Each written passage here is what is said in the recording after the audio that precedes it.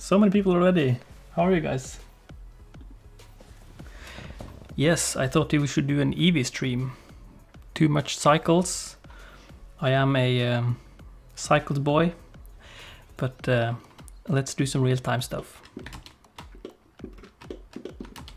So I was messing around with these shapes, and I'm thinking we should try and recreate this one. It's manageable, I think. In doesn't take too long.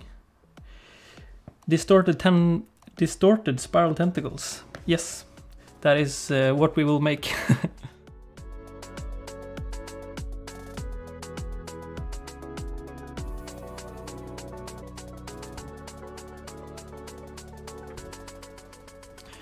so let me know what the sound levels are and I'll try and adjust these um, as we go along. okay, so let's um, yeah let's look at this for a little bit.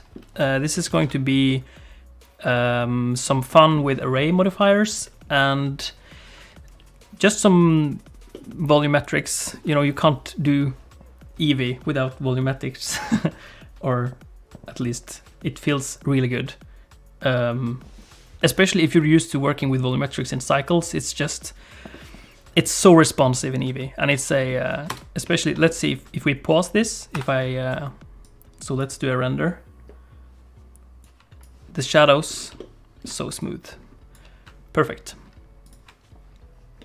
But yeah, let's um, let's uh, break this down and um, see how it's made. So there was this shape uh, I was really into a couple of days back, which is a uh, circle and um, a uh, um, if you extrude it like inward. Oh, let me turn on my screencast keys. I feel like the music is a bit loud. Let me know if it's. Uh, yeah. Okay. So um, this shape is really easy to make. Let's just. Uh, let me show you. That's it. and uh, it's um, I don't know what it is. Um, yeah, so we'll be starting with a new blend file, and uh, yeah, the music is probably too loud. So we're starting with a new blend file and deleting everything, and uh, we'll be in Eevee, of course. So let's go ahead and make our circle. Now, the first trick today um, is something I started doing a couple of days ago, and it's uh, it's changed my workflow just so much. It's insane. So uh, let's say you want to double the vertices uh, from 32 to 64. You have to click and then manually type in, right? But as with Blender, in everywhere in Blender, you can just click somewhere and then uh, click again and then just type like multiply by two and then press enter. And that so now you kind of double that value, right? So I set up this macro to just um, click and press end and press shift and the start thing and then two and then enter. So I can just do it really quickly and it works with everything. I can change the resolution 200%, 400%, 50%, 4K and it's really cool. So I just did it uh, with my keyboard. It's a Logitech keyboard uh, the G815 and there is this macro settings. So macros. So it basically does all this. It clicks down the mouse presses and shift and you can kind of remove the delay a little bit as well. So it's just it's amazing. Um, I'm not saying it's amazing because I figured it out because I didn't. Um, multiplying stuff is something a lot of programs support. So you can use this script in, for example, After Effects or Premiere or a lot of the Adobe programs as well. So yeah, so that's how you make a circle, I guess. Uh, let's go into edit mode by pressing tab and extrude and scale.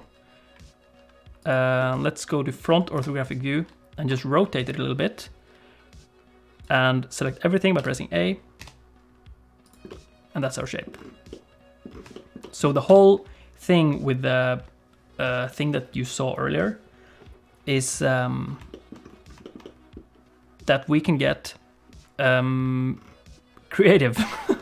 Sorry, I'm just reading the comments while I'm uh, trying to do this live tutorial thing for the second time, I guess.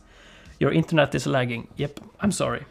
So I just really hope my internet isn't lagging too much. I will be trying to add uh, subtitles um, for the stuff that doesn't make it in the stream, I guess, if some parts gets chopped out. Uh, music is probably a bit quiet.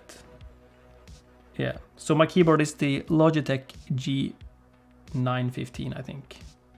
Okay, so let's uh, make some stuff. So let's take this thing and uh, give it a bevel modifier. That's um, and set the limit method to angle. And we can half this value, boop boop, and uh, right click shade smooth. And under normals in the object data properties, let's turn on auto smooth. And we got this smooth shape. And uh, now we're going to do an array modifier to make it go up a lot.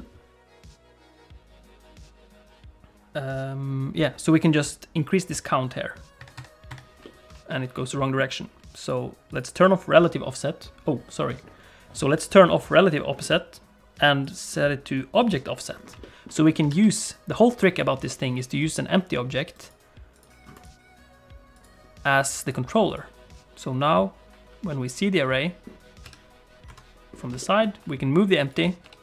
Whoop, and we have this thing that moves really nicely if you press R, R.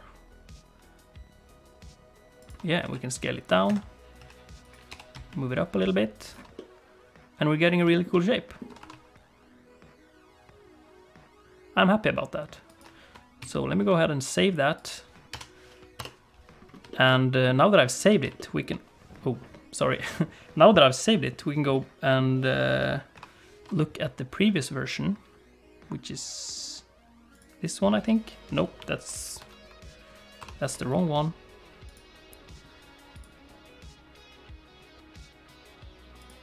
Here we go. Yeah, so we're gonna try and make this shape um, kind of curl around a little bit and we're to make a camera that's going to kind of go around the entire thing.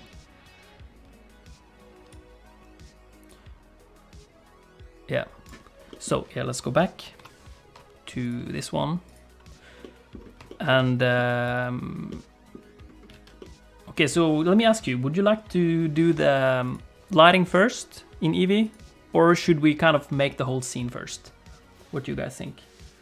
I think it's only like 1.7 seconds delay in the chat, so feel free to be... Uh... Oh, it's probably lagging a bit. Light, light. Okay, so yeah, so let's do the lighting first. So um, the right here under world, um, let's press volume and oh, yeah.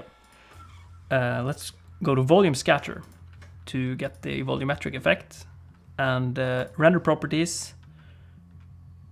Uh, what's this? Sorry. Render properties, volumetrics.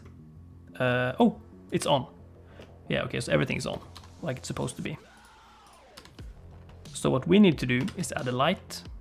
It is a simple point light. And let's just set this to 200. That's not strong enough, so we can double it using our clever macro trick. Hmm, why is everything being bright? I don't understand. Oh yeah, because the volumetric is way too thick. So let's go to the world settings and under density, I'm probably a little bit in the way here. there we go. Under density, let's just reduce this. There we go. So yeah, like 0.001, no, 0.016 is currently my value. You can just dial this in by yourself. Uh, yeah, let's do that. No, you know what? Let's do it a little bit more subtle. So let's make a ground plane, Shift A, add plane, scale it up. And what I like to do in all the stuff I make ever is to take the strength of the kind of the world color and just crush it down. Make it like dark and contrasty and it's just so it feels like we're in a studio all the time. Okay. Uh, where are you from? I'm from Norway, which is uh, where my accent is from, I guess. So this is basically the entire lighting setup. Uh, if we like, we can take this plane, uh, we can subdivide it. And let's go ahead and take a, um, just make a little bit of a hill, right? Yeah, there we go. So it's um, it's more elegant when the fall off is kind of, it's on a hill. Yeah, that's, I feel like that's what I want to see.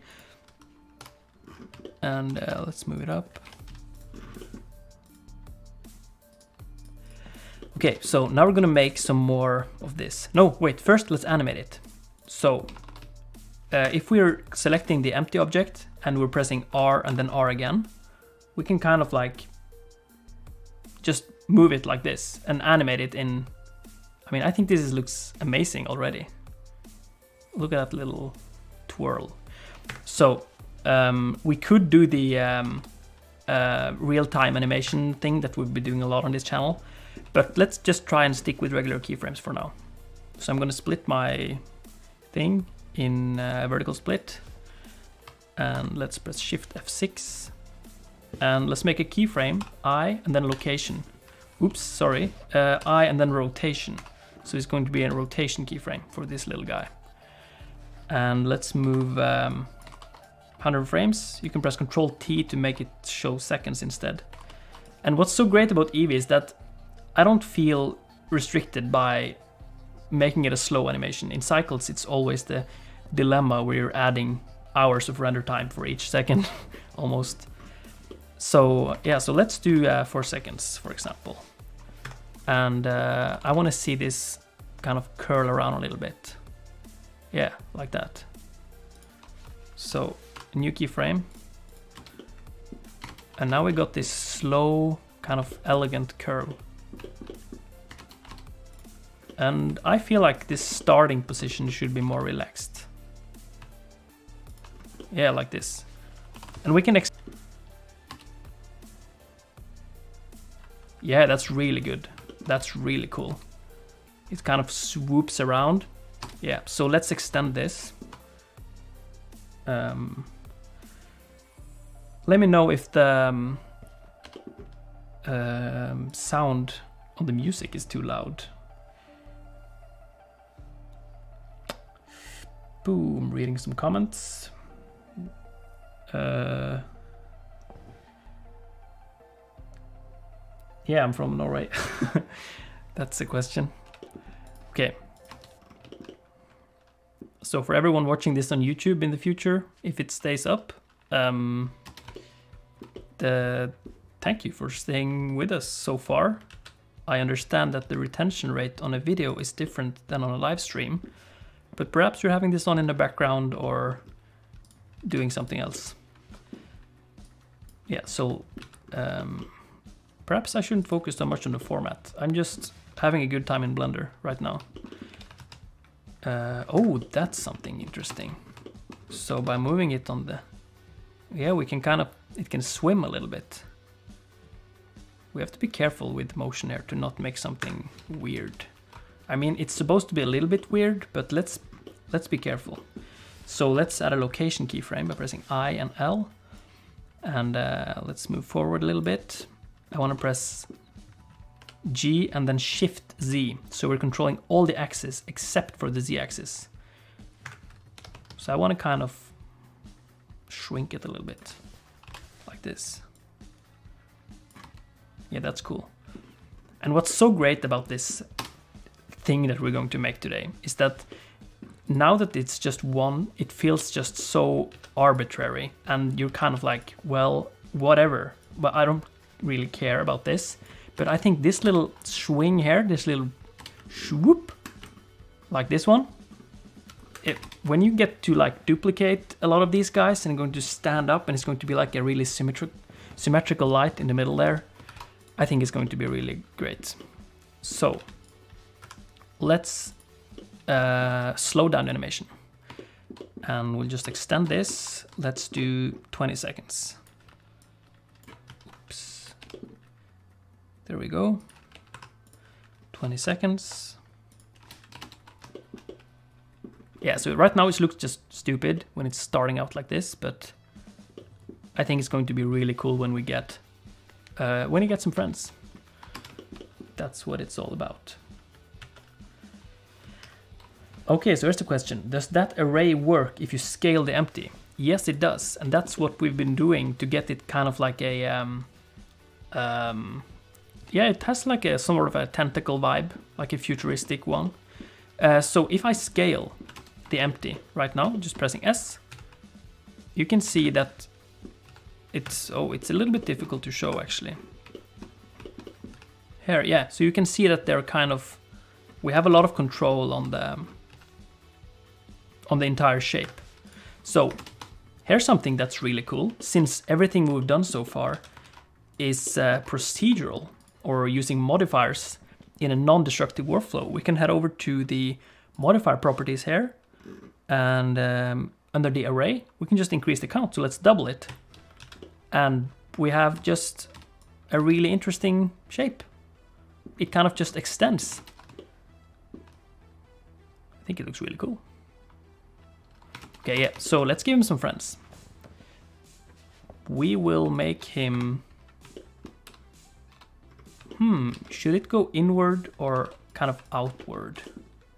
So if we make him...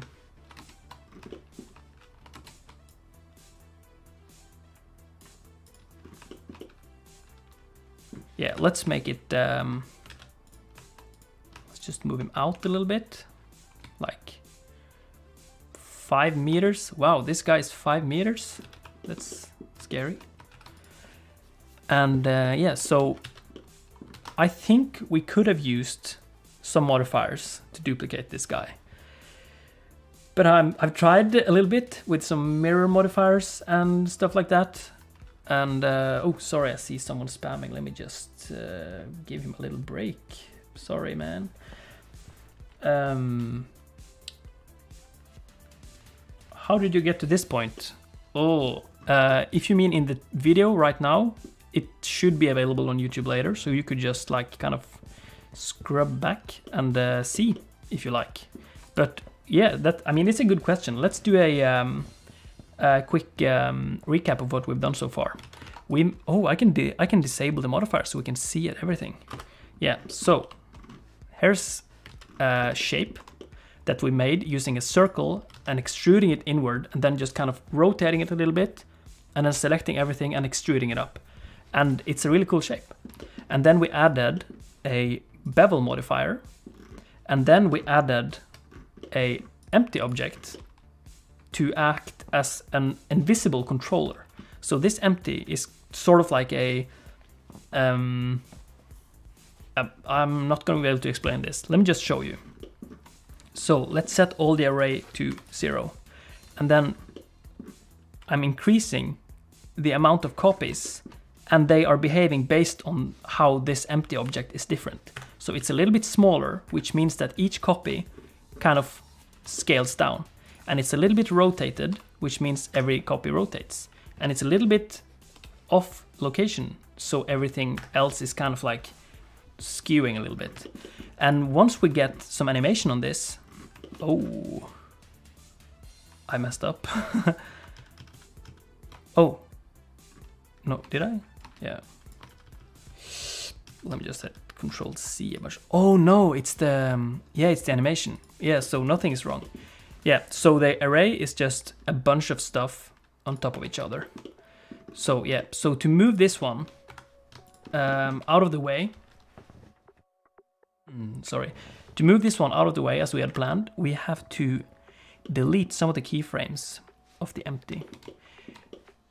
You know what? Let's just delete all of them, all of the empty location keyframes. It wasn't that much of an interesting uh, introduction to movement anyways. And let's do 20 copies of the array. And let's do... You've just answered my question I had with this recap. Thanks. Hey, no problem. Uh, Andrew Ogolo says, I need to go back to Blender. Yes, you do. Blender is going to be the future, and it is the future, and the present, and the past. So let me just stick to making this stuff um, finished. Yeah, so now that we've deleted the keyframes for the empty, we can move this around freely. So let's move it down five meters. Don't forget, guys, this is five meter big tentacle thing. And um, let's introduce a fifth object. And that is going to be another empty object. Wow, that is really exciting. And let's make a sphere because um, I think it's nice to have some different shapes in your scene. And we can right click and increase the empty draw size. That's probably too big. And now let's take this thing and this thing and shift click on them and then the empty and then just press Control P. Parent to object. And now we can rotate this and empty. Whoop, whoop, whoop. And it's going to kind of follow. So let me just let me just hide some stuff. I'm using H to hide, and you can press Alt H to make it come back. Sorry, I'm gonna have to make sure my voice doesn't.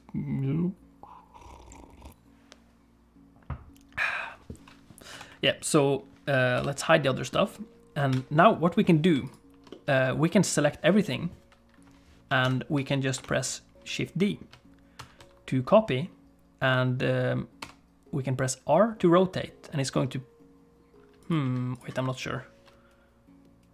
Yeah so set the origin to 3D cursor. Now you can select everything. And um, I somehow like to have this as sort of like the main object. So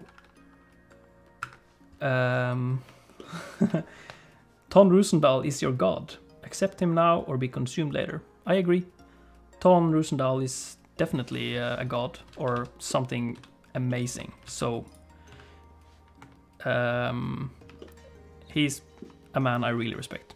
Yeah, so let's press Shift D and then press R and you can hold down Control and in the top left corner you can see, for example, 45 degrees. So that's like a, um, what's that, an eighth of a circle? I don't know. But we can press Shift R to just repeat that thing. Boop, boop, boop, boop, boop. And now we have all of them.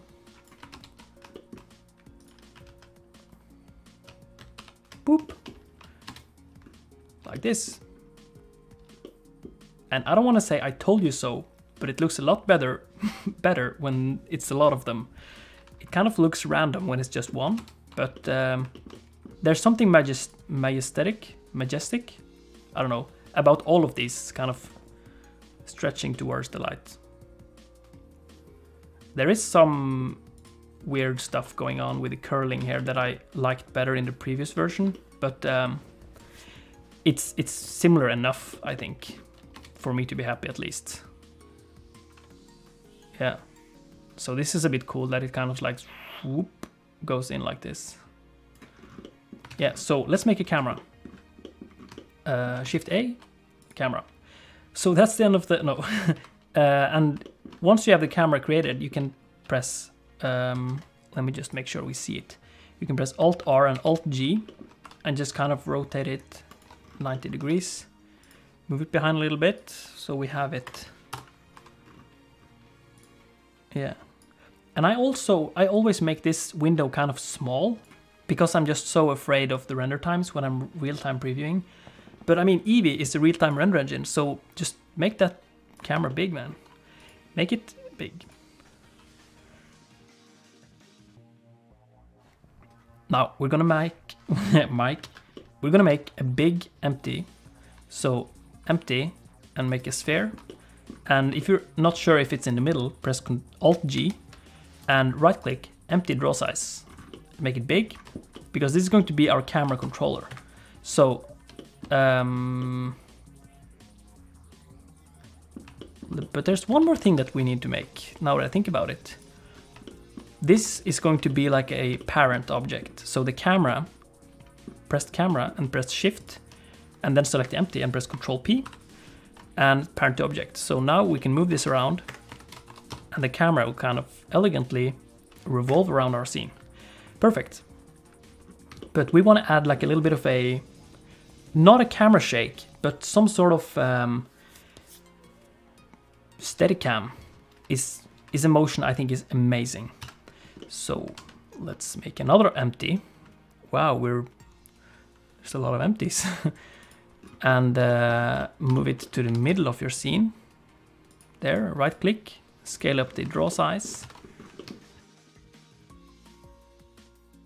And now we can select the camera, shift select the empty, and press F3 and just search for track. And let's set it to track to constraint. And now we can move this empty and the camera will follow it.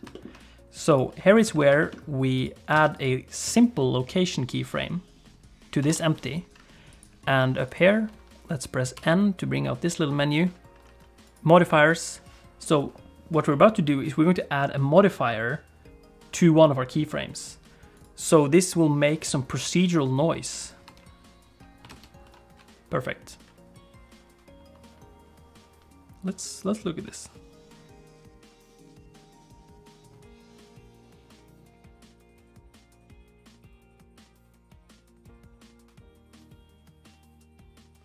Energy drink. Um, do you post that? Not sure if I mean. Uh, yeah, color is missing, definitely. Uh, let me know some color suggestions. What would you like to see? Um, if you could write some hexadecimal codes, that would be nice. Not, not necessarily saying what color it is, but just saying, I think this hex color look nice. And then we can all be surprised at what it looks like. That's a good idea. So let's increase the scale here on the noise modifier. So we get this like slow going back and forth. Yeah, that's too fast. Uh, let's double it. And then let's copy this F modifier. I wonder what the F is for. Let's copy this and then go to the Y location, paste it, and on the offset, just scramble this with a random number. And then Z location, boopy doop. Oh, there we go. So now we have this kind of dreamy, swimming kind of Wow, this almost looked like we're underwater. Yeah, some emission shaders. Hmm, I'm not sure if that's going to work because we're in Eevee. But am I, am I the only one that's getting some... Um... Okay, let me select the camera here. I'm getting some um, underwater vibes from this. That we're sort of like... It's almost like a diver is trying to just film some stuff perhaps um, it could... Oh, here are the hexadecimal codes. Nice. Yeah, let's try and give the um, light some color. What? Is there... Oh, okay, so it's here. Yeah. So, uh, F123FF. That's... Wow. Hmm. Okay, uh, we can work with that. Let's just desaturate it and uh, change the hue. There we go. Perfect. Thank you, man. That looks great. Okay. Um, yeah, I'm sorry about that. Uh, am I? Yeah, it's. So I want to make it a little bit more. Um, like a blue. Oh, here's something nice. If you want to change like both of these, like the red and green, you can like kind of drag your mouse down a little bit and you can kind of do both of them. You can do all three actually if you drag it all the way down.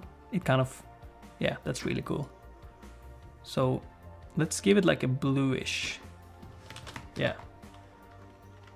Perhaps, uh, okay, so here's a guy with a color suggestion for the tentacles. So let's just agree that these are tentacles now. And I'm um, selecting all of them. And let's take the main one that has the material, Control L and link materials. So now we can only change the material once. Uh, what was the color? Sorry, I missed you. Uh, where are you, tentacle guy? Yeah, there you are. E 089A8. Interesting. Yeah, that's interesting. Okay, so final color suggestion for the ground. Uh, maybe some little zoom. Good idea. Yeah, let's do it. Emission shader on some of the circles. Hmm. I'm not really sure how I would do that, since they're all being duplicated by the array modifier. So I'm not sure if that's possible. Okay, so for the ground, yeah, let's... V Gajia, I got you. Let me have a look at the ground. And by the way, let's do all diffuse materials because diffuse and then a little bit of bloom it is and then soft shadows that is the secret to eevee basically i've always been a cycles boy you know this. I've uh, rendered my fair share of uh, traces racing those trace tracing those rays yeah but in eevee I, i'm just so in love with bloom so just turn on bloom. And then if the light is bright enough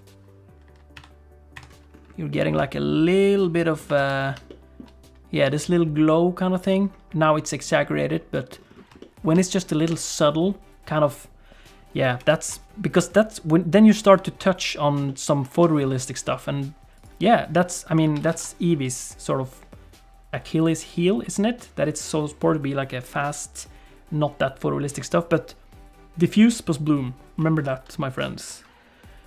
Uh, what was I supposed to do? Yeah the ground. Okay.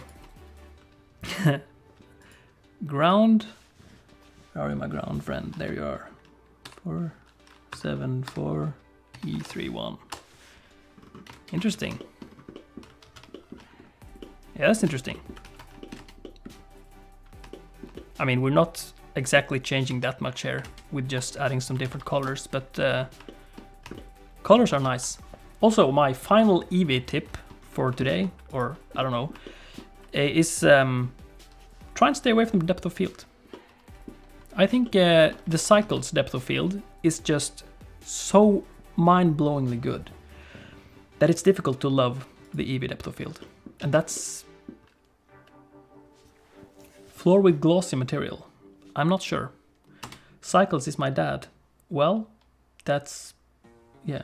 Achilles heel means weakness. Thank you. Uh, yeah, I think I yeah. Okay, so I'm thinking that the ground should be a little bit darker. Or, yeah. Perhaps we could try and make it uh, explore a higher. You know, I'm missing some foreground details here. Let's try and make... Um... Oh no! Is the stream dying? I'm getting some... Uh error messages here. I really hope I'm not uh, losing you guys. Is the stream dead?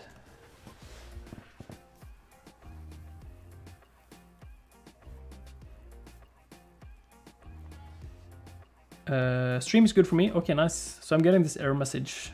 Uh, sorry for um, focusing too much on that. It's fine now. Okay, good.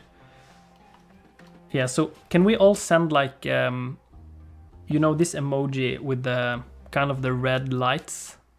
Uh, if the stream goes down, so I have to repeat anything, could you just try and spam that emoji? So we're good right now, but that's the emergency emoji.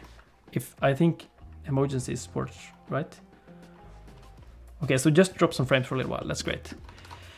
Yeah. Um, okay, so would you like would you guys like to see some details here? Oh. Uh, some kind of foregrounds, foreground details like this. Here. Uh, would you like to see some of this or would you like to render it out like a video and take a look at some formats that are good? Let me know. Add coral. Oh yeah, coral, is that kind of like the plant thing? We could try some, yeah, some, like some futuristic seaweed kind of thing. That could definitely be cool. Uh, foreground with grass. Yeah, okay, so let's, um, yeah, so let's do, So what's a cool shape? Um, yeah.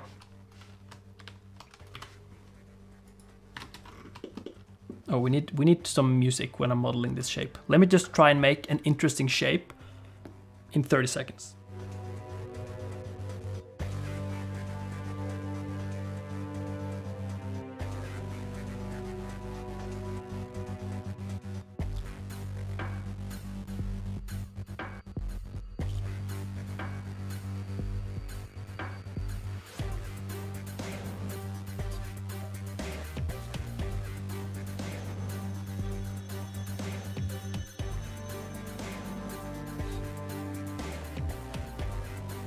Perfect. That is um, that is the most interesting shape I've made in a while. Yep. I'm proud of it. Be proud of your work, people. Um, so let's give this a bevel modifier. Set to angle. And let us do a... Um, one coral done. Yeah, but that's the secret. This, this is all the corals.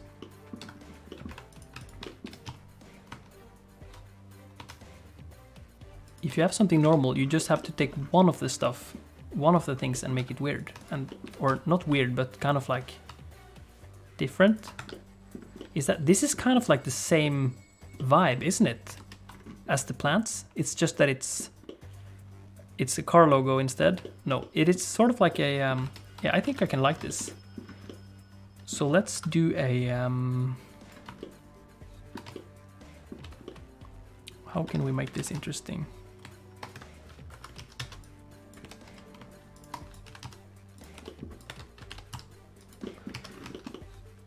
So let's do a curve.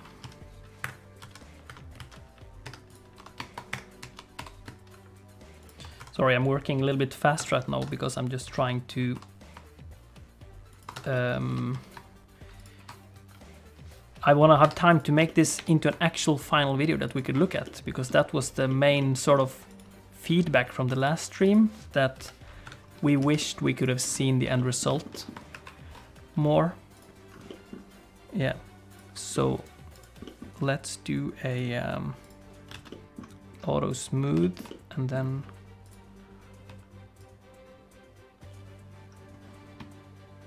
yeah we have to let's wait with the auto smooth. Oh this is just worse now. Hmm. Add edge split modifier. Yeah perhaps that's that I might actually do the trick I'm not sure. I'm, I think perhaps uh, we should try and avoid the whole uh, bevel situation. Oh, what? No. Uh, okay, so it's going to be seaweed, like, right? It's not. It's not the end of the world if it's not. Uh... Yeah, that's cool. So let's just make this shape um, follow this curve. So add a curve modifier. And let me know if this is going behind my head. Um, yeah, of course. Whoops. Oh, here's a pro tip. You can just hold on control and then scroll on this one. And then you can try out all the different ones. Because it also, it always takes a while to kind of go through these. Yeah, there we go. So this is going to sound like whoop, like yeah, this is good. Um, oh, okay. So let's just edit this one then, and let's do. Uh, you know what? We should have done shape keys instead. Um, no, let's do a curve. Or can I animate this one? No. What? How can I... Yeah, there we go. Okay, so I'll just use uh, this stupid workaround. Yeah, so let's... you know what? Let's just make this um, random movement. Some seaweed movement. And uh, boop. And boop. And boop. boop. Yeah, it's too fast. So double it. Double. Has anyone seen the episode of The Office when Robert California goes double it? That was the idea that made me want to double stuff in Blender. I love The Office. Okay, so let's add some seaweed. Um, where's the curve? Oh, where's the curve? And the seaweed. Oh, weird. Uh, yeah, because we do need more empties in the scene. Yes, thank you. Who was that? V Gaggia. Yes. So I'm gonna make uh, an empty just for you, my friend. Um, I don't hope your name doesn't mean anything. Uh, let me just call you V guy. um, and uh, yeah, let's take this part of the. No, where's the curve? Yeah, so let's take this one, the curve. Oh, the curve. What? And the curve. Yeah, there we go. Hook to selected object. Yeah, okay, nice. So now we have uh, an empty... There we go. So all of this is sort of like our seagrass or seaweed. So let's move this over here. Yeah, perfect. Menu is slightly behind your head. Yep, I'm sorry. I will try to kind of just do like the swoop if that happens. So let's take a look at our... Uh, you know what? I'm just gonna make this... Yeah, there we go. There you are. I'm gonna take this and we are going to duplicate it. Yeah, we need to be, it needs to be a little bit smaller. Oh. No, you know what? It's big enough. and, uh, oh, yeah, we can rotate a little bit. So there's our seagrass working its magic. And let's... Hmm.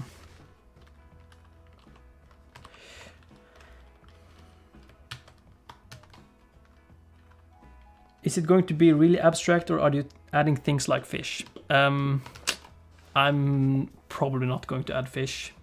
Uh, thinking of getting into Blender type stuff. Carper Fjord. That is a fjord in your name. Nice. Uh, you should you should get into Blender. Okay, so we're going to need to add another empty. Uh, let's do a sphere empty. Let's parent all these to... Wait, can I do this? Nope. Uh, the curve modifier is a really bad idea. You know what? Let's let's forget the curve. Yeah. Let's um, take this thing and let's have it standing still. That's really boring, but I really want to try and export this as a video because I just want to show you uh, some interesting techniques. So yeah, let's scale this down a little bit, scatter it around. Uh, you know what, let's, instead of duplicating this with, um, uh, where is it? Yeah, well, instead of using Shift D, let's do Alt D.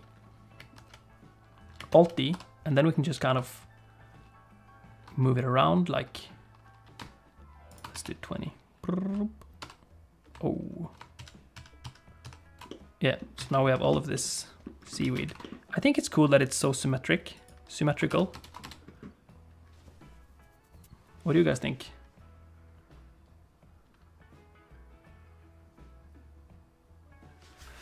You could have parented the curve to an empty and just parented empties together. Ah, you know, I always knew the problem here was that this scene doesn't have enough empties. Oh, no, I'm kidding. Uh, I think we should try and export this to video because I have some other stuff I want to try and show you. Uh, I want to show you. So let's do. Um, yeah, let's go ahead and do a test render and see what it looks like with the soft shadows. Okay, so let's make the shadows softer. Um, like this. Yeah, that's good. And let's... Oh, we haven't animated the camera yet. Yeah, my bad, sorry. So let's animate our empty that's controlling the camera. Let's go to 18 seconds. And let's do... Yeah, let's do 120 degrees. There's no need to be really exact about that because we're just doing like a, we're sort of like swimming around. Yeah, that's what we're doing. So now let's animate this one from below here. Like this, and then let's go forward. Ooh, and then let's go up. And was there some guy here mentioning about, talking about some zooming? We'll be zooming a little bit, I think. So here we are.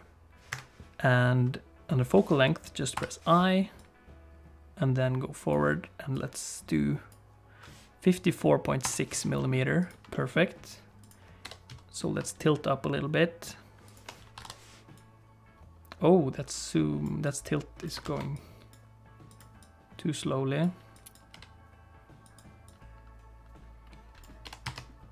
And there we go. Oh, yeah, and we want to try and start. So this is a boring camera rotation, I think. I think it's it's really good to just make it start like you give it some starting speed. So you can press V and just set it to vector and the camera just sort of it has a starting speed already. And uh, you'd have to ex excuse me for these horrible looking shapes, but uh, it adds something at least.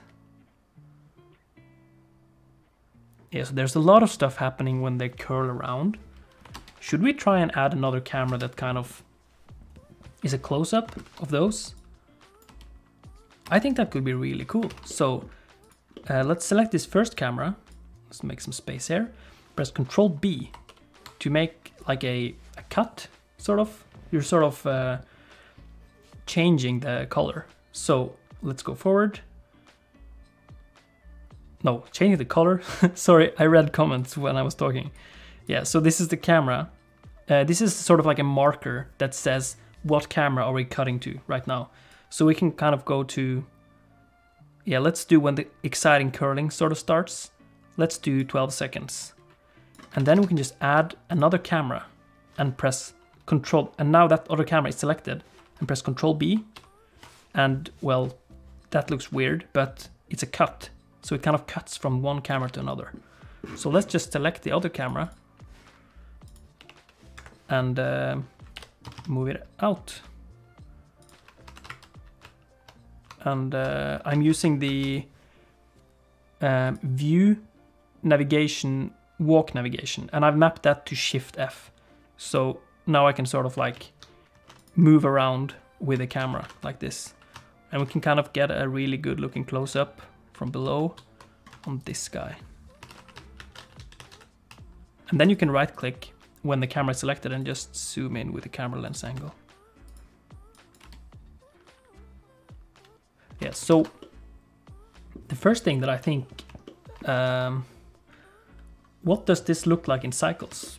Well, that's a really good question. We could have a look. So let's do a render. Sorry, let's do a render with Eevee. It looks like this. And let's just set this to cycles without changing anything else. And let's do a render.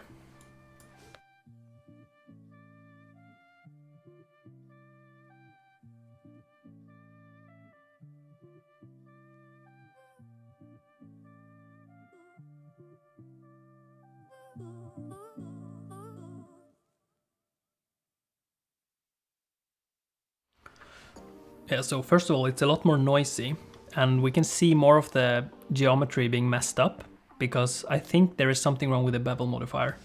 I think we should be um, careful. So yeah, let's cycle between these. It's surprisingly not that much of a difference. The cycles takes into account the bounce light from the fog itself on this side of the stuff, like this color. But I think the Eevee version here seriously looks better. So, and if we're comparing 32 seconds render time to what, uh, 89 hundredths of a second? No. Well, it's less than one second at least. Yeah, so let's go back to Eevee. I mean, the stream is called Eevee. It's, we shouldn't be in cycles at all. But let's animate this camera a little bit because I want to continue. So we have this movement that goes around like this, right? It kind of, it goes like this, whoop, and then it stops, right? So we sort of want to, we want to continue this movement a little bit and then we can stop on the close-up. So that's what we'll do and then we'll render it out as a video. So um, let us make, you guessed it, an empty object. And because this is going to be like the, uh, this is a cam, the camera uh, 2 it's called camera 001. You know what, let's just rename this, rename this to camera 2. And then camera 1. So it's a little bit consistency. And let's take this null object empty object, sorry. Or I'm not sorry to all my After Effects friends out there. Select this empty, Control P, and parent to object. And now we can sort of like do this beautiful, yeah, we're sort of, yeah, that's a good movement. Yeah, like this. So let's get a little bit closer. And then let's go here and then let's continue the movement sort of like here. Yeah, and then let's make it um, a vector, so, or we can just rotate it. And then you can press, uh, then let's move it a little bit before the cut, so. Yeah, and it's really subtle, but it helps a lot. So let's turn it off and see what it looks like. So if we go around like this, and then it sort of suddenly stops. That's something is kind of we're missing a an opportunity here, right? So when we enable the empties movement again, we can kind of go around like this, and it feels a little better. We can even exaggerate. I think we can exaggerate this a little bit.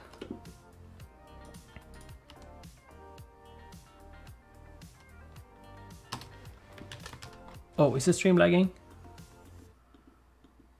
send the emoji thing if the stream is down.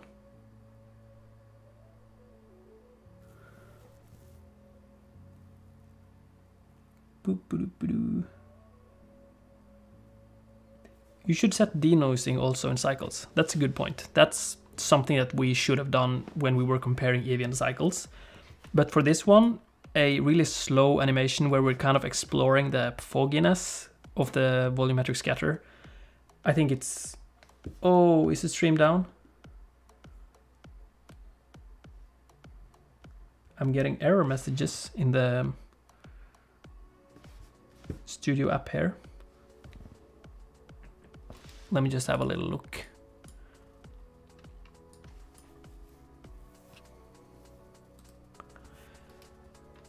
Uh, Carperfjord is leaving, that's bad, but um, yeah, Okay, so stream is good. Yeah, I'm getting these really big yellow kind of boxes of text on my computer when the stream lags a little bit. So I I didn't really expect this stream to be up for so long. I thought it was going to stop. But yeah, now we have this camera movement going whoop and then close up. And we can see it is sort of like the final twist and then it settles.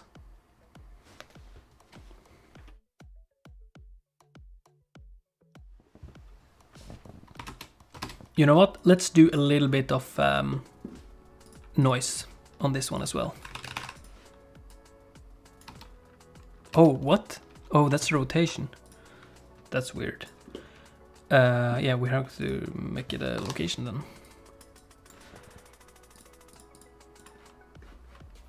Boop.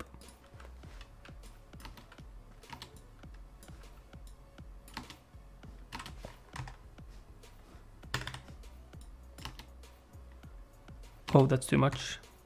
Um, yeah, that's good. And then, okay, so let's copy this one, paste it, give it a random value, and this one. There we go. Oh, so it's yeah, it's too it's too strong.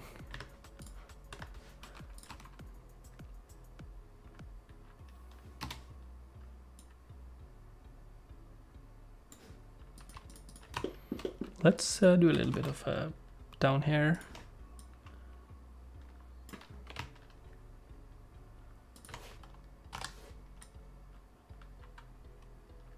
Oh, what's that?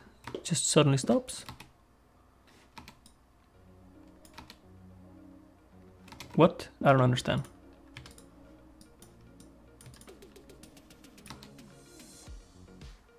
Okay, well that's...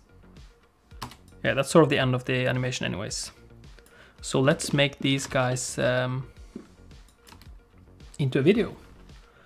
What's your plan for the materials? well, this was my plan. I was thinking um, like a diffuse material. Yeah, okay, so we end it there.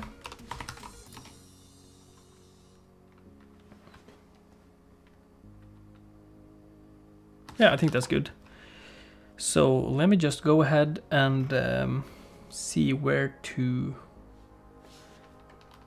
Yeah, so under file format, let's go FFmpeg video. Okay, so just a quick note about rendering. I think when you're rendering in cycles, you should always render in image sequences because the render times are just so long, right?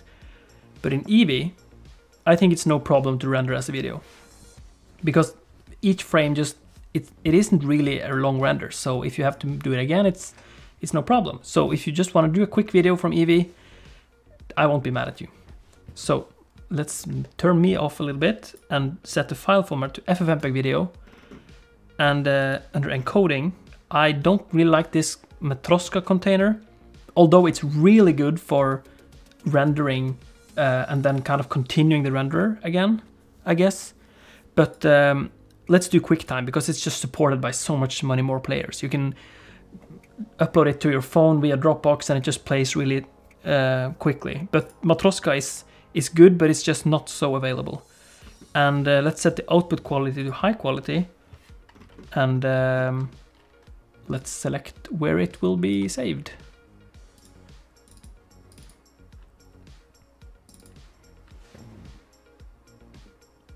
Yeah, so here, sorry, uh, let's do a render. Mm, what should we call this? Swirly, swirly guys, version one. And let's always, promise me this if you're watching, always version your stuff even if it's the absolute final version you're ever going to make in your life and you have one week left to live, give it a version number because it's always going to be final, final, final. Yeah, so it's always going to be a new version at some point. And people who have worked in the industry for a long time, they do this 001 because they know it's going to be at least 100 versions. So, but I don't think this stream is going to be 100 versions. So let's do 0, 1. Um, and then, yeah, I think we're good to render actually. And, you know, I don't think the stream should crash, but if it does, uh, or I just hope it doesn't. Let me just zoom out a little bit. So it sort of zooms in. Yeah, that's good.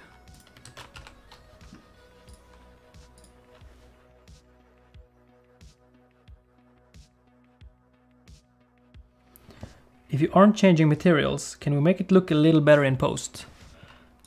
Um, I'm not really sure if this is the easiest thing to make look better in post. But, uh, oh, let's uh, enable motion blur. It's uh, right here. There we go. And um, let's do a... so I think we're good to render it actually.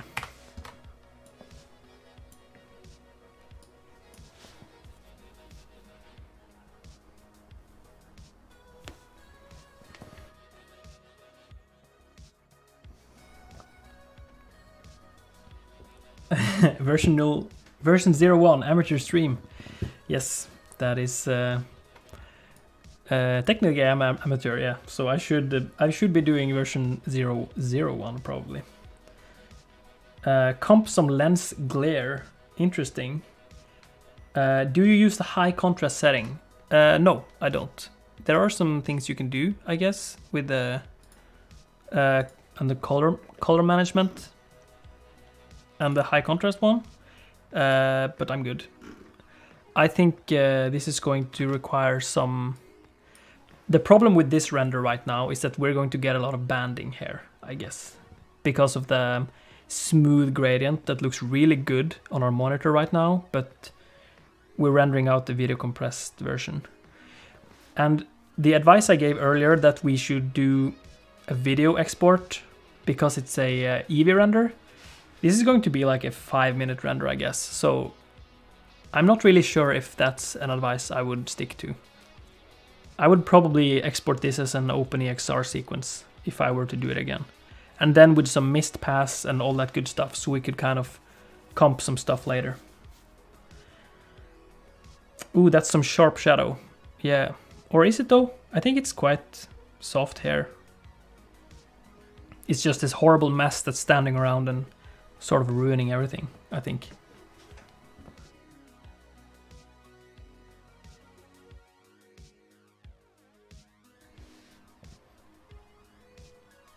Can you change the color of this gray thing? Uh, no, we did some colors earlier and um, I'm just really eager to move on to the next stuff. You know what? I'm really curious if I can... Uh, Oh, by the way, is the stream lagging when I'm uh, rendering? It's interesting. If that's uh, the thing. Uh, did you activate soft shadows? I don't think I did. Okay, so if the stream isn't lagging while I'm rendering, I'm thinking we could try and uh, uh, just open another blend file and just start on the next thing already. Um, yeah, let's do that. So let me see. There we go. It's a new Blender window. Oh, it's lagging now? Yeah, it probably is. Let's just hope it doesn't crash. Oh, the stream is lagging.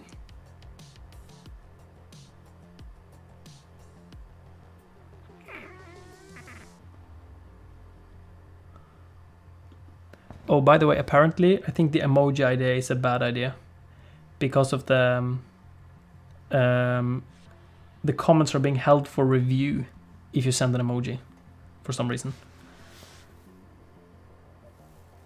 Yeah, it's still lagging. I'm not sure if the it's the render or if it's the stream. It's probably a bad idea to render on stream anyways. Um,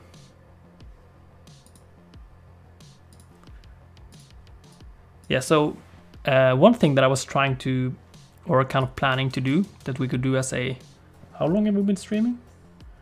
Oh, for an hour? Um,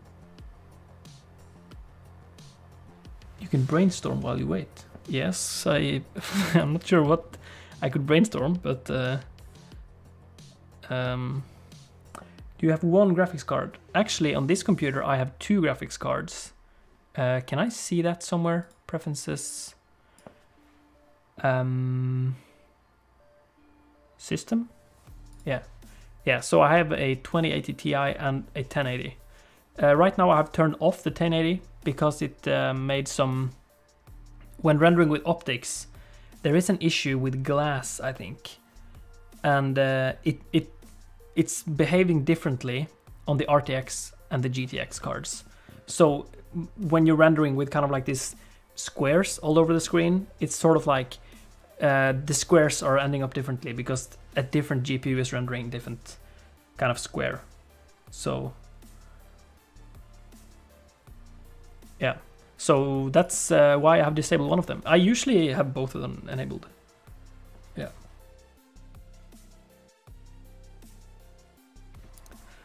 Okay, so let's, um, you know what, let's take a look at some stuff I made uh, the other day, yesterday. Uh, it's this big compositing exercise I just wanted to do with some denoising and the mist and glow and vignette and some color. And uh, let me show what it looks like. It is this um, thing. I don't know what this is. It is a, rigid body simulation of, uh, yeah, let's, uh, you know what, let's look at the result. Is this lagging?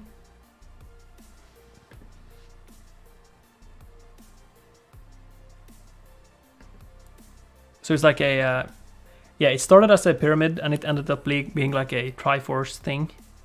I just really like how it sort of like spreads out the, the cubes. And then this texture on the ground is this uh, default texture for UV unwrapping stuff, I guess. You can make it really easily in Blender if you go to um, this UV editor thing and just press new and then generate a type UV grid. And just press OK. And then you get this UV texture. And I just think this is such a is a really cool texture. Because yeah you get this sort of like a uh, yeah I just I just really enjoy looking at this texture. It looks so um, uh, it's like a testing facility right? And it's I'm not really sure what you could do to sort of like make a testing facility vibe with textures. It's really interesting, I think. Yeah.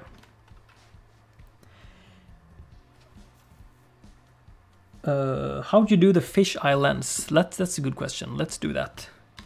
So let's do, so here's the camera. Uh, the fisheye lens only works in cycles. So let's look through the camera. And uh, I am going to real-time preview. Oh, you know what? Let's do the 1080 for this one while we're rendering on the 2080 Ti. That's clever. Um, so let's render. And this is what the real-time preview looks like, right? And on the camera settings, let me remove my face. Uh, we are on a perspective type. Yeah, so yeah, we're on a perspective type and let's scroll down to panoramic, and we get this weird sort of um, yeah, it is a it is a spherical camera sort of, and then under this lens setting you can sort of move this and it just stops at 15. But if you keep if you just add a manual value like 25 or 40, we still have these. I'm not sure if you can see this, but this line is a little bit sort of skewed. It, it is a fisheye lens, but it's just not like ultra wide. And a lot of people think that fisheye has to be ultra wide, but it's not. It's just a little. I'm not sure what the um, what the word is, but it, if it's not a fisheye lens, it's an aspherical lens. That is what I know. So here's all of these different things we can change. But yeah, let's try and move the camera closer. And now we can see. Yeah, and make it a little bit more wide angle. Let's do 30 millimeter. Now you get this fisheye sort of look without um, without being a super wide angle lens. And this is a really cool effect, I think. And this works with a regular camera in Blender. You just have to set the type to panoramic instead of perspective. And then you have to force the lens value. That's the key. Because the default value here is 15 and you can sort of like, it stops there if you try and drag it up.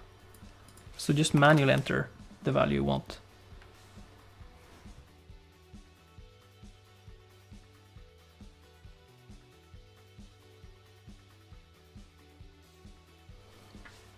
Yeah, so uh, fair question, um, um, Antoni, Antoine, sorry if I'm butchering your name, um, we could just use the lens distortion node, right? But um, I think that's difficult to work with because you're getting like a um, at the edges of the screen, you're getting you're losing data because it's sort of like wrapping the image around, right? So you're you're sort of messing with the pixels. But I think it's really cool with the cycles cameras that you're you're just messing with the ray tracing lighting data, so you're getting a full sensor readout. Really cool.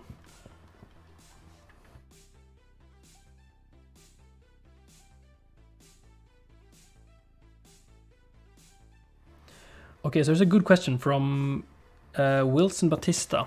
Why don't you render with CUDA? So I'm rendering with OptiX, but just it's just so much faster. If you're on the RTX uh, 2080 Ti, I think it's almost twice as fast as CUDA. So the reason why I have disabled it in this render, or in the other project that I was working on earlier, uh, some cycle stuff, um, that nothing to do with this stream. Uh, then I had disabled the 1080 Ti because it's it gives a little bit of different result if there are some smooth diffuse shapes with glass next to it. I'm not really sure what the bug was, but there were some uh, darker and brighter tiles because of the tiling when you're rendering. So, but yeah, the reason I'm rendering with OptiX instead of CUDA is because OptiX is faster. It's a little bit less stable, but um, I mean, you, I haven't really. Blender just stopped crashing really after like 2.83. I don't Blender just don't really crash anymore for me, which is amazing. Uh, unless you're doing like big particle simulations, which were well then you're asking for trouble basically.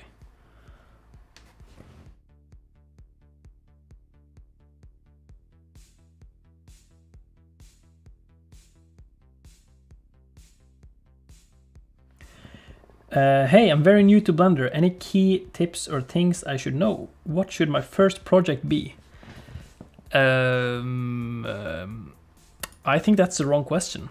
I don't think you should be looking for a project. You should just get in there. Just get. Uh, um, I mean, like one of the things that made me get into Blender was that it's just.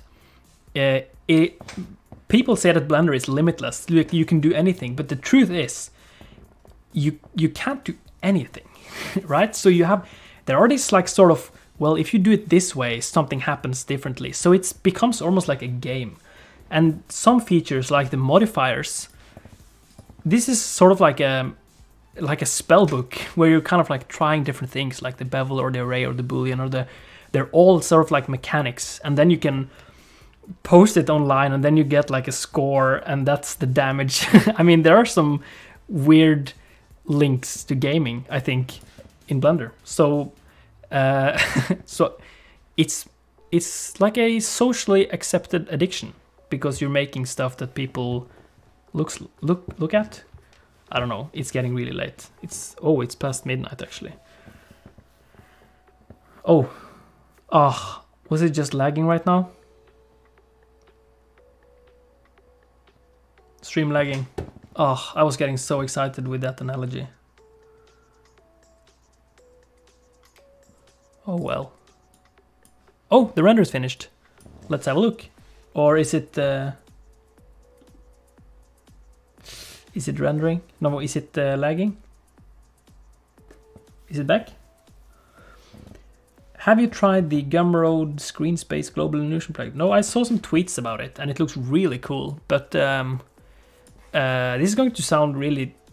Uh, I'm not sure what's going to sound like, but I'm not really a fan of using plugins for Blender, like third-party plugins. I really try to avoid third-party plugins for Blender because you're getting these. Uh, I mean, the, the reason you're using Blender is because it's so available, right? It's free and it's open source, and you can download it everywhere, and you can just install it on everything that you have, and it just works.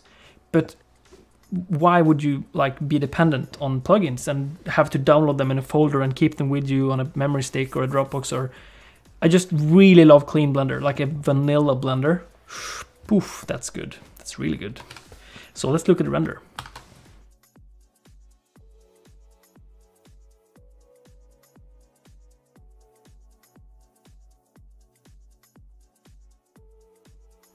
Interesting.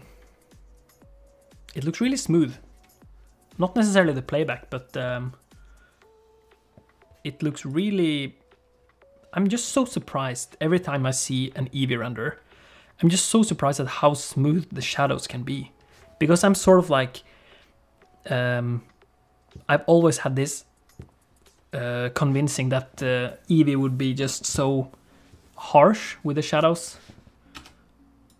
But yeah, I really enjoy this smooth, sort of like um, this smooth lighting, and then the diffuse material, and then and it's a little bit of bloom on the on the diffuse. I really like that.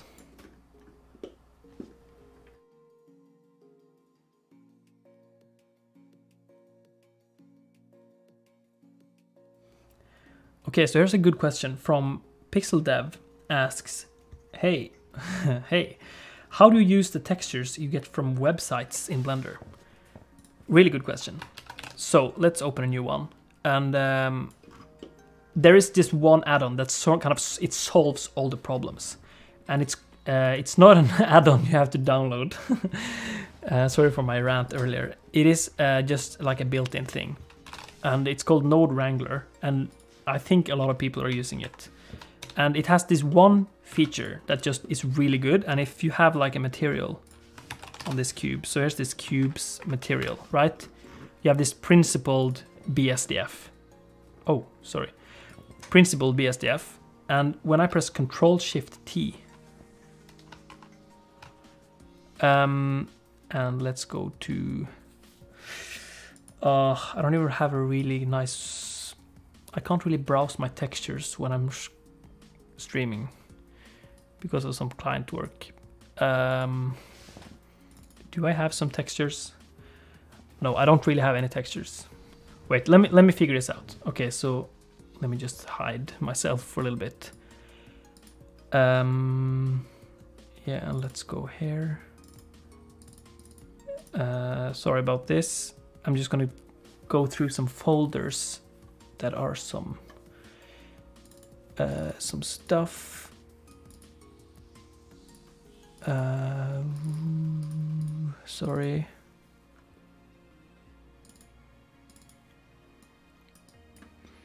Here we go. Okay, so I'm in. Uh, yeah, there's me again. Um, so here I have a folder. There we go. Here I have a folder with a lot of materials, right? It's just um, stuff that I downloaded from, I think it's cc0textures.com. It is a, like everything is in the public domain. It's a lot of free textures there, and it's an amazing website. So uh, I just downloaded some PNGs, and they come in this. So let's take a look at this. Um, this marble is really good. So here you can see if you see the um, display mode, you can see that all these textures look really good, right? So hang on, let me just soup. Sorry, um, all these textures. So here's the trick: in the um, the principled BSDF node, when you have the node wrangler enabled, you take this one and you press Control Shift T, and then you kind of like the, you open the stuff, the folder where you have the textures, and this one is called color, this one is called displacement, normal, and roughness, and then just select all of them and just press principled texture. And it sort of just figures all of it out. So now when we go to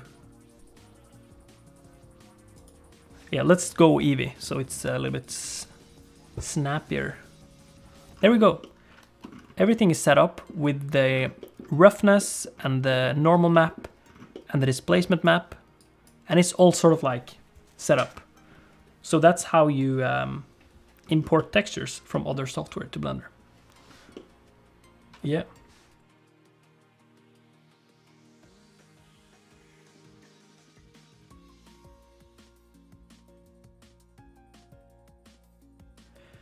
Okay, so that's our result for this stream. Um, any more questions? Uh, yo, Lotzalute, why you change name? Yes, the channel is called Polyfjord now. Um, funny that you ask. Uh, I would like to talk about Polyfjord. What is it? It is a um, startup company, uh, which me and my friend Turgar is um, we're co-founding it. It is uh, going to be a little bit of an animation studio and a YouTube channel and uh, a lot of fun stuff. I'm currently writing my master thesis about um, something along the lines of creative freedom and you know involving third parties. And Polyfjord is all about just making stuff online. So it is a it's an animation company with me and my friend Turgar, and uh, we actually just got the name Polyfjord as a registered trademark in the US and Norway. So it's kind of like official for a few days ago. That's a year of emails. And that's really cool. So Polyfjord is going to be like a uh, journey. Um, and it's going to be a lot more content after I've written my master thesis, which I think it's in the middle of June. Is that supposed to be in?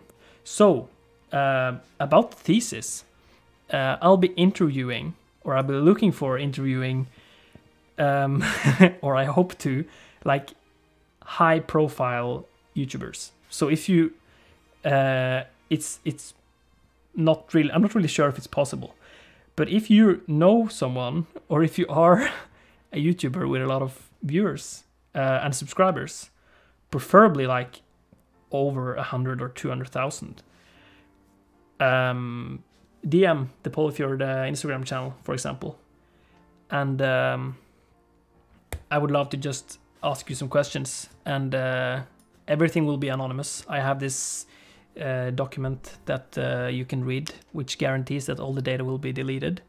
So if anyone is interested in talking about creative freedom and they own a YouTube channel or they are responsible for those sort of like business development um, aspects of YouTube channel, I would really like to talk to you. Uh, but uh, you're not here to hear me talk about this. You are here to watch the stream um, with Blender.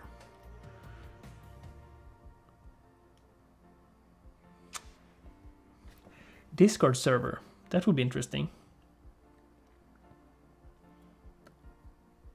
So let's, uh, yeah, Leo Fred, uh, feel free to uh, shoot a message to the Polyfjord uh, um, Instagram channel, Instagram page. Yeah, uh, that we don't really have an email yet. So yeah, so when so Polyfjord is basically it's not um, it's not like me I am not Polyfjord. It is the name of the company. So it's it's kind of me. It's us. It's me and Turgar. He's an amazing uh, guy. You will uh, definitely hear more about him soon. Uh, drop your Discord. Well, we don't have a Discord, but uh, it's a good idea. Let's um, yeah, let's definitely try and make that happen. Uh, Ola Di Plenty, I got introduced to you from your smooth camera animation tutorial. Thank you. That's so cool to hear. Uh, it was an amazingly fun tutorial to make. And it's a technique I use every day almost. Well, yeah, I'm not really sure where we go from here. Um, okay, so let's do one final thing that I was thinking about. Uh, yeah, let's do... Um, let's do a sphere kind of falling down on a bunch of cubes. And we'll end the stream with that. Because I was doing this uh, thing. Here it is. Just an animation. Of course there's fog and it's in Eevee. And it's this cube is really heavy. It's like 48 kilograms. And each cube each is sort of really lightweight. You can sort of and this is baking right now in real time, so we can play this back and we can look at it smoothly. So let's have a look. Oh, I thought we could look at it smoothly. I guess my streaming software is taking too much... Uh... No, there we go. Yes, I just think that's a really cool effect.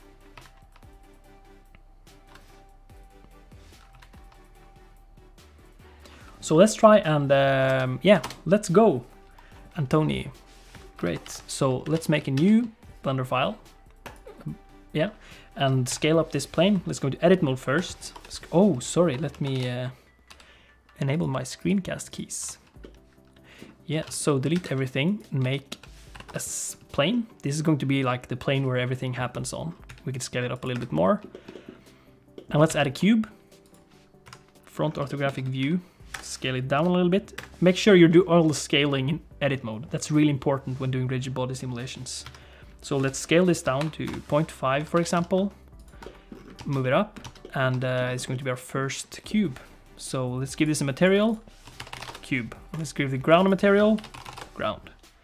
And then let us take the cube and give it mm, a better bevel modifier. And uh, let's like this. Now let us go to object, rigid body, add active. Then select the ground, object, rigid body, add passive. So now if we move the ground, if we move the cube up, press space, we have a rigid body simulation. And under scene properties and rigid body world, uh, let's increase the speed. Oh, sorry. Let's increase the speed. So let's set it to, for example, 2 or even 4. Yeah, so that's a little bit too fast. Let's do 2.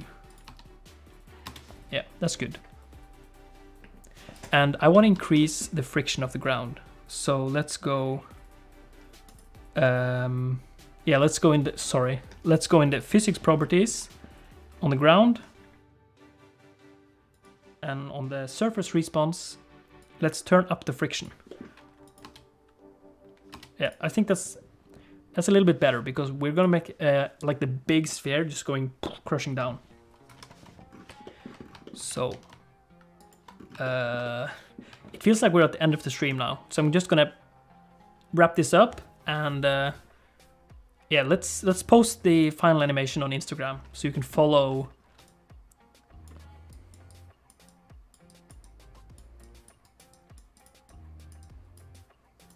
Yeah, so follow Polyfjord on Instagram and we will post the final animation there.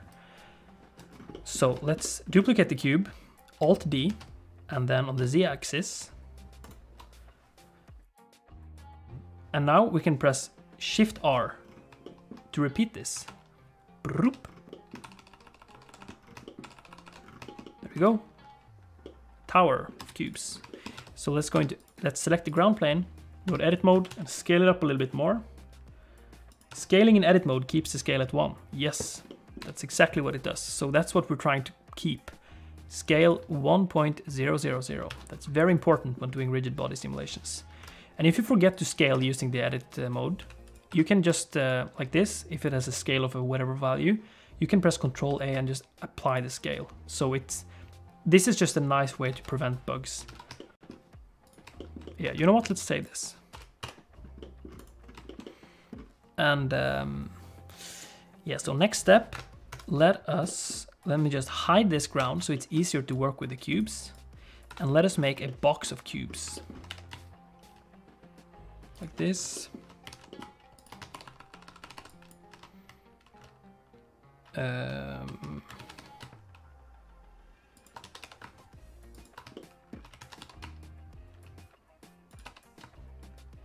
boop. So there's our cube tower. And it looks like this. Oh, sorry, I'm clicking too many buttons. It's our cube tower.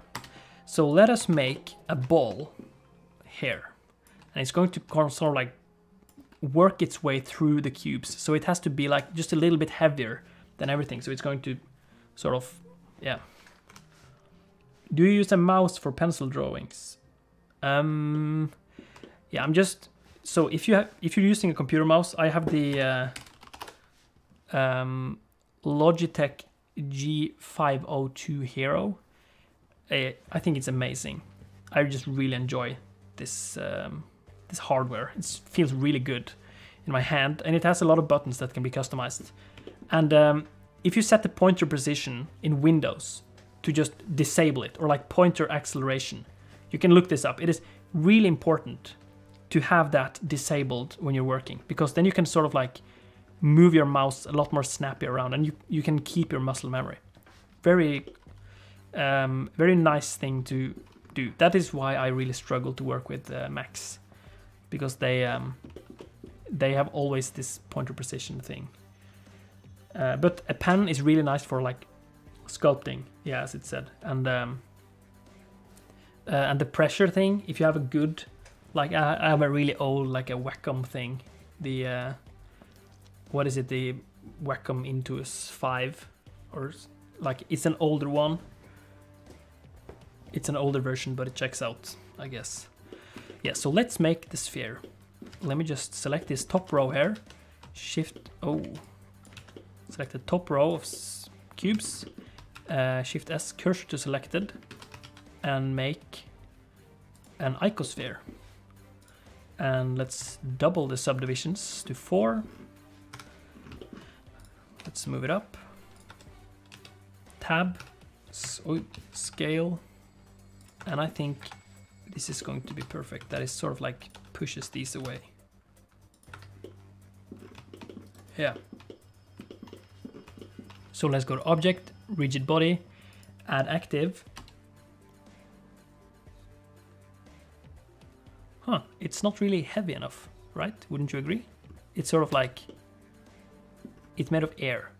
So let's just simply in the physics properties First, we can set the shape to sphere, and then, oh, by the way, um, let's set the shape to all of these boxes. So you want to kind of take all of them.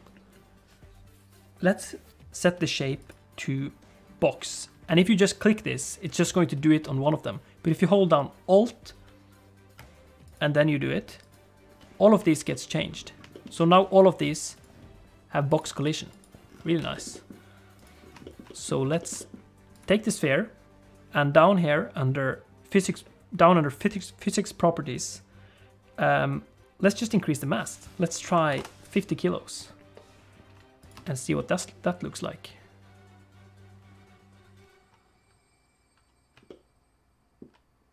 Cool. And you get these four pillars. That's an interesting effect.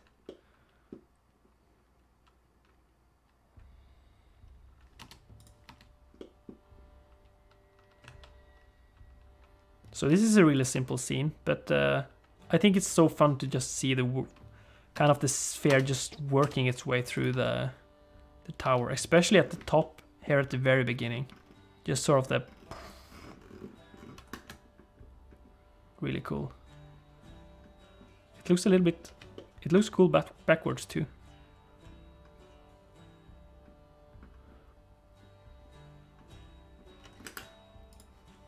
Okay, so let's, um, yeah, we're in Eevee.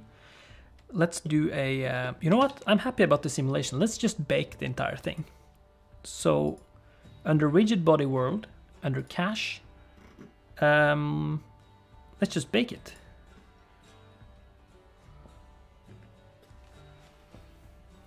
So the simulation isn't symmetrical. Uh, oh, move the sphere slightly off center. Interesting. Yeah, we could try that. Let's just delete the bake. And let's move it a little bit over there. And let's see what happens. Good suggestion.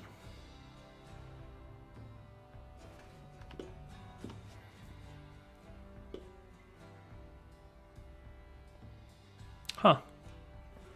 Very interesting.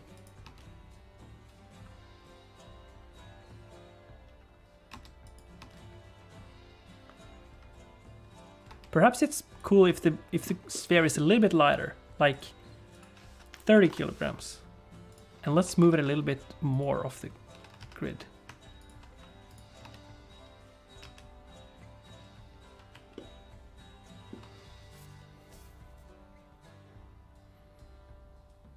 Now it's not that much of a interesting.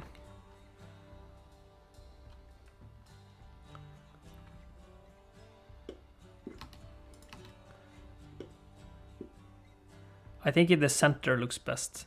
If it's, um, I think it's best with center and then a little bit more weight. So let's just give it 50 kilograms and let's move it to, oh, it's not really, yeah. Let's move it to the center and perhaps not exactly the center.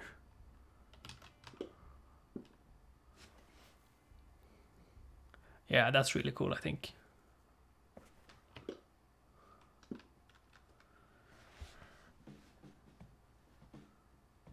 This ball is me playing Jenga. Huh, that's an interesting strategy.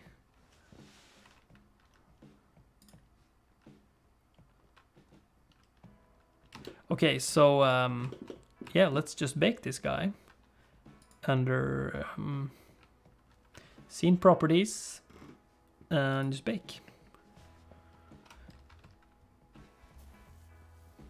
And we will do like a similar stuff from the previous scene where we just add a little bit of a light in Eevee and a little bit of volumetrics and we'll just knock out this little render. And um, I think that's it. I've been really happy with the stream so far and uh, it's been great. Just got back from eating homemade pizza. What did I miss? You know what? Um, let's just start the render and then we'll do a recap of everything we've done this stream. That's great. So, let's go to render view. Let's add a point light. I think I'm going to change this to spotlight actually. And then I'm going to increase this.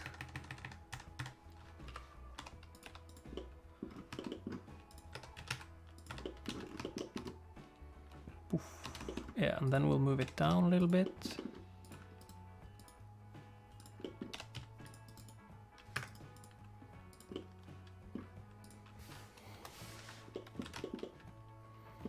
So it's super high contrast right now, but uh, under uh, volume in the worlds thing, uh, let's set it to volume scatter and let's just lower the density a lot.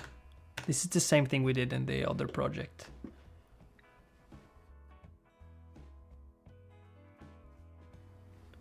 And then we get this really beautiful, uh, I just absolutely love this thing with Eevee. And then we can make the lamp just a little bit stronger. Um, oh, sorry. Let's make the lamp light just a little bit uh, brighter. Um, there we go, you can get some god rays here. That's perfect. And let's do the bloom. Um, bloom, bloom, motion blur, and just some stuff. You know what, let's um, go to the light again and enable contact shadows. It's just a little bit of help. And it's just so amazing to see in Eevee that this just plays in real time still. It is a just like a physics simulation that looks really cool and it or it behaves predictably is probably the correct term. I'm not really we're not inventing something amazing here, I think. I think this is really fun. The way it sort of like works its way through. It's like of... Uh, it must be really fun to work on those big movies where they're sort of tearing down big structures and just working with really powerful hardware and putting on a big render and coming back the next day and watching stuff. Can you put the light inside the tower? Interesting. Let's try it. Um, oh, that's very spooky. Wow. oh, perhaps I shouldn't turn it upside down. I should do like this. Wow, that's amazing. Oh, that looks really cool. That's such a good idea. Wow, look at that. Huh. That's just so much cooler than I expected. Very interesting. The the bad thing about doing like this baked is that I'm I'm not baked, but the the bad thing about doing this when the physics are already pre-baked is that you you can't really I mean you can get tired of the same simulation is what I'm trying to say. Point light, let's try. Oh, it's not completely in the middle. Oh, because that's not in the middle. There we go. Wow, that looks cool. You sure we shouldn't have it as a ring light? this is going to be the final render, let me tell you. Point. Perhaps I should Yeah, so let's do a spot. I think that's really fantastic. Look at that. Yeah, let's just make a camera right away.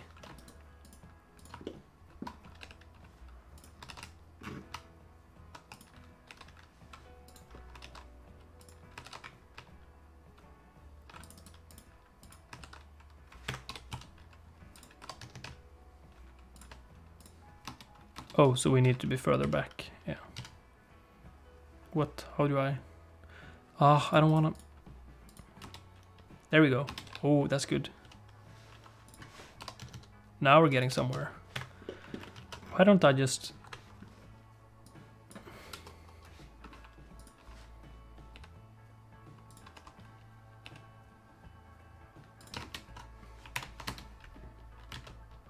That's pretty cool.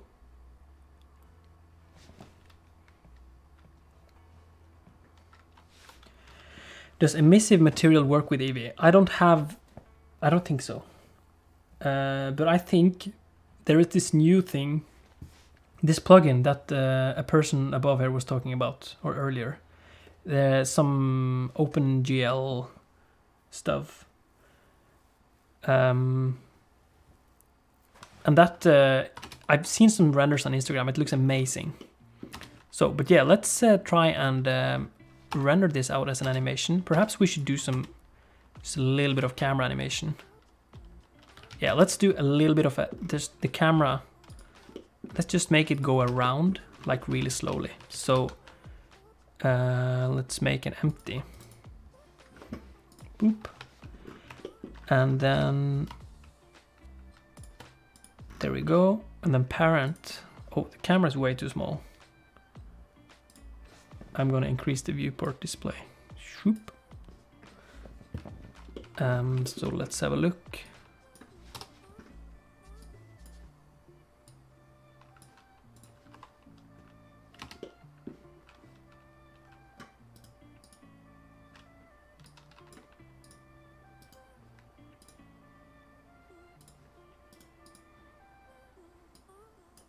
Wait, sorry, I'm messing around with the stuff. There we go.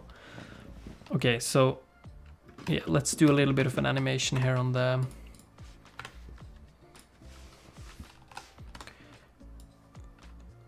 Let's just do like a oh, Mr. Camera. Yeah, let's do a little bit of a what? Oh. there we go. So let's move this around just a little. Yeah, it's just we just need a casual linear extrapolation. There we go. This is a cool scene, right?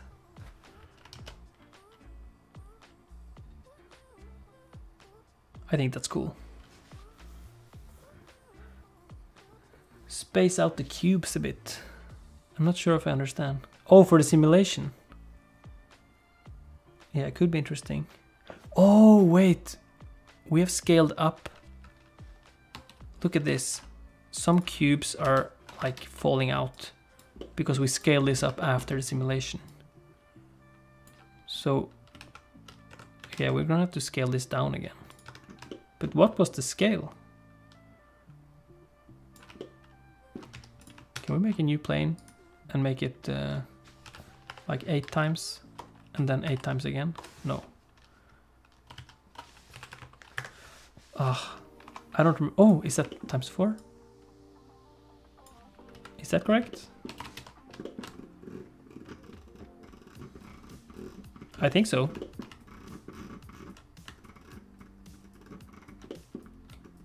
No, it's a little bit smaller. There we go.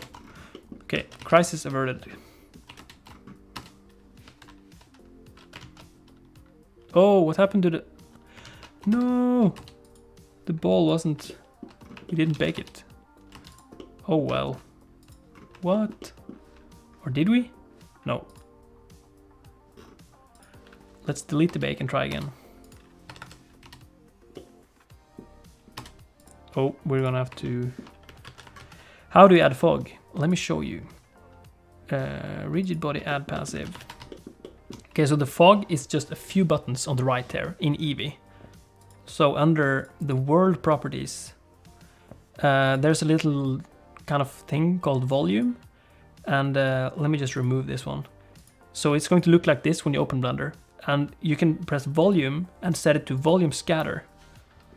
And everything just becomes black because the density is so thick. So if you just turn this down, let's try 0.01. Now we're getting some sort of like a fog effect.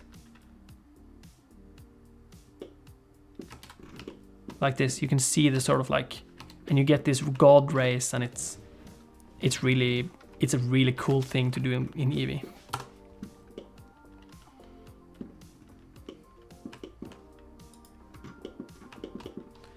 Okay, so let's do a render. Um, how long is the animation going to be? Oh, we need to bake it first.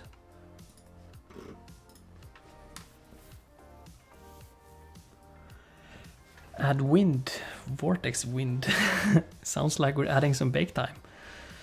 Uh, I'm just real. I'm honestly really happy about the way the sphere just sort of like works its way through the cubes, and it's like a heavy, kind of unstoppable thing. I really like it. Paulie, det är ganska sent för oss. it's Norwegian. He's saying it's getting pretty late. And uh, yes, it is 1.30 a.m. in the morning. But I drink some energy drink for the first time in a lot of, in a really long time. Because I've just been wanting to do this stream for a while.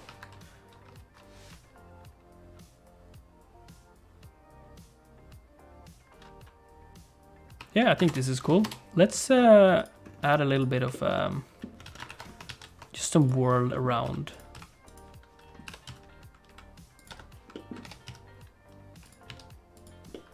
Like this. Oh, that's... Sorry about that.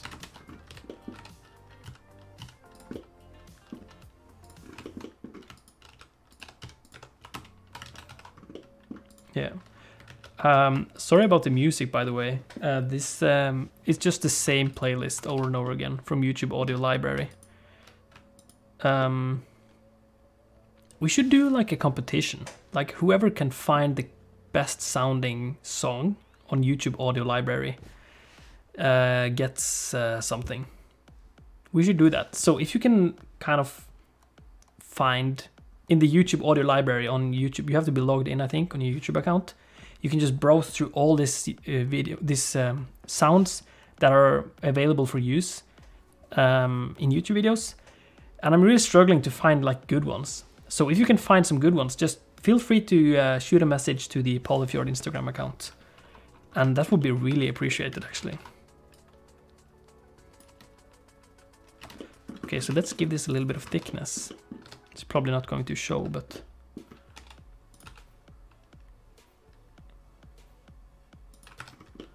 Yeah, there we go.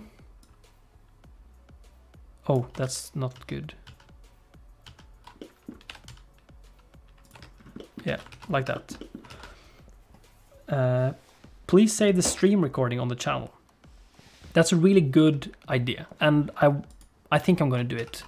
Um, here's the deal. I'm gonna have to just watch through it and see that everything's okay.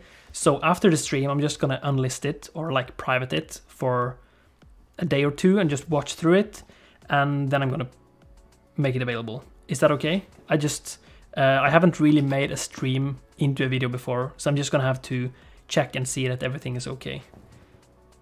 So I hope that's okay, but uh, the, the plan is that this is just going to be like a really long tutorial. And we've been streaming for, yeah, almost two hours. This, is a, this has been really great. So let's take a look at this rendered. Oh my god, the motion blur looks amazing. Very good. Yeah, we'll be rendering this right away, I think. Perhaps we should make this a little bit softer. Um, light radius. Yeah, perfect. Increase the samples.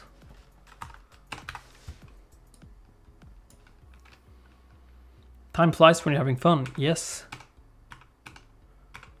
Indeed.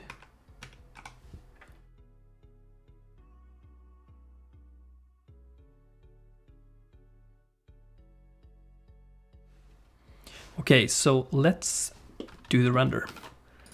And uh, let's do, you know what? I don't think we need any more than 64 frames, 64 samples.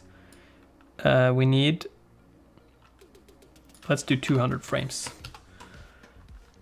And uh, let me turn me off so you can see. And let's set it to FFmpeg, QuickTime, high quality. Uh, and let us go here. Um,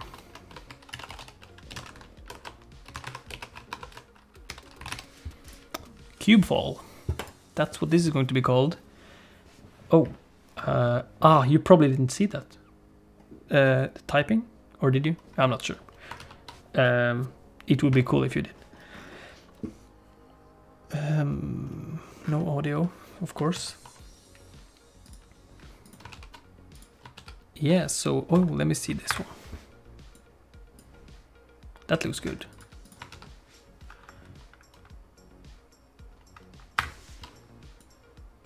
So we are rendering. Why QuickTime over MPEG-4? Uh, you saw it, good. Why QuickTime over MP4? Uh, if this is live, is this live? If so, respond, respond. It is live, yeah. I think it's like on, under two seconds delay. It's really cool. Google is has this. Uh, I enabled this ultra low latency thing, so it's it's really low latency. Yeah. Uh, what do you use for streaming? I use um, OBS.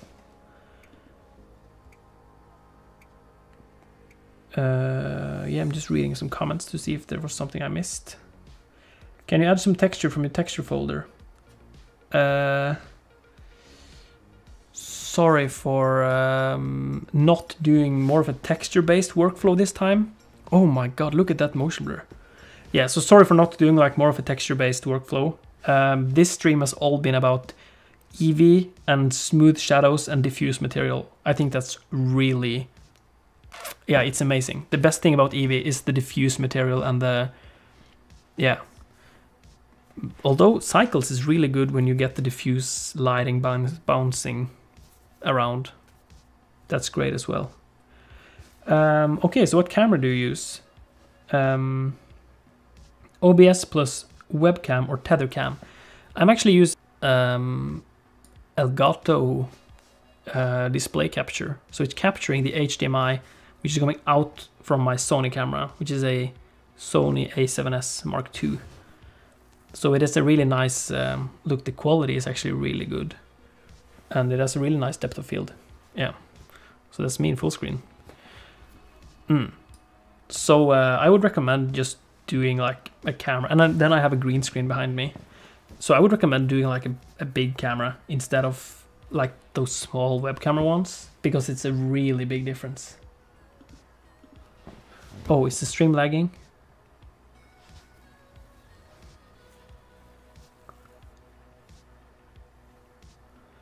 Can we do a delay test? I'm not really sure if that's possible. You say start when you send stop. Tucker Tucker, howdy. Hello. Imagine if you rendered it in cycles and streamed the whole time. Yeah, that would be an amazing stream. It could be cool to just make a still image though and uh, render it in cycles. Oh, the the contact shadow here is not looking that great. I don't I don't think this render is going to be like one of those keepers. and those pieces are going to go through the floor here as well. So I'm not really sure if... Uh, oh, I can hear the fans spinning up on my computer. Yeah, I don't think this uh, render is going to be like something to look at too much, but it was a nice exercise to end the stream with, I think. Uh, oh, why QuickTime over MPEG-4? Yes, so I talked about this. Um, MPEG-4, well, I think it's Matroska that is the default one.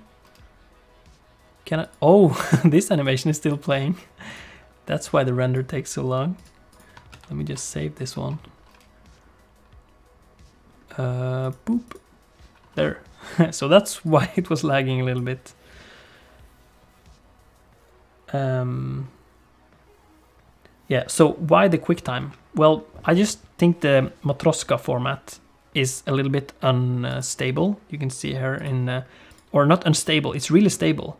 But the container, I could have used MPEG-4, uh, but I just really like um, uh, QuickTime uh, because it plays on my phone really nicely.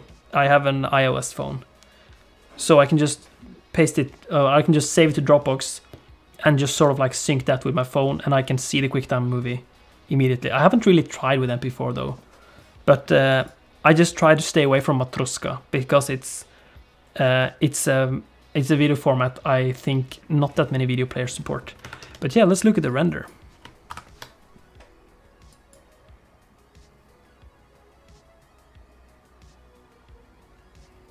Cool. So the contact shadow is a little bit bad, but I think we're we're doing something interesting here with the just the first part here. Yeah, like this part. That's really cool. Thanks so much for the tutorial. Thanks. Hey, that's so nice to see people uh, stopping by. Uh, this has been a really fun stream. Um, I would love to stream some more. This is going to be a challenging semester because I'll be writing my master thesis. So probably um, I can't promise that I will be streaming regularly. I'm sorry uh, because this is just a really hectic semester. But in the middle of June, um, who knows?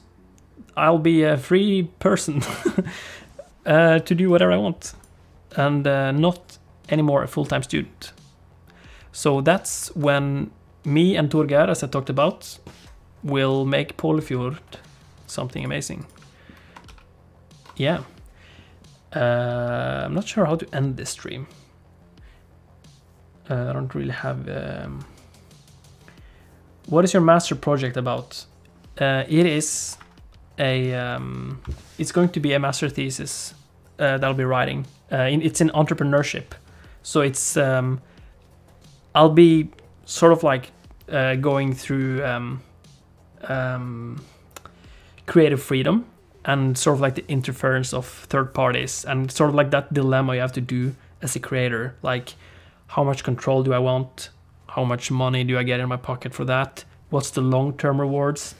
And stuff like that. And I'm just a really fan of the open source thing and the and I did this uh, I'm not sure what it's called in English, but this pre-project, and then I focused a lot on uh, uh, donations and like donation-based revenue streams, and like the just making stuff and then people giving back because they want to, not because they have to.